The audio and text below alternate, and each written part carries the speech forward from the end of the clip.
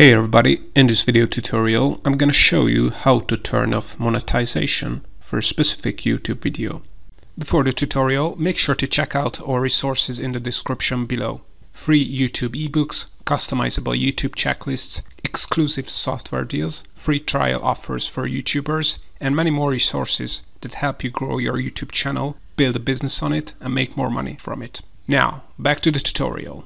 Right, so it's really easy to do if you want to turn off monetization for a certain video.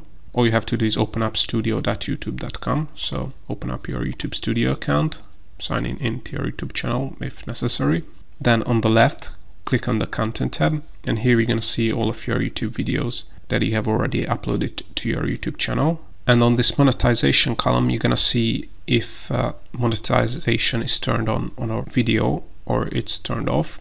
And the easiest way to turn it off is to click on this down arrow and select off and click on save. The other way you, you could do it is by clicking on this dollar sign here and here you can also turn the monetization off or you can also turn off specific ad types if you want to do that. But once you have clicked on down here, click on save so the monetization is turned off on the video. Now if we go back to the content tab, you can see that on this video the monetization is turned off. Alright, if something is still not clear to you, check out our more detailed instructional blog post on roihacks.com. Links to that in the description below.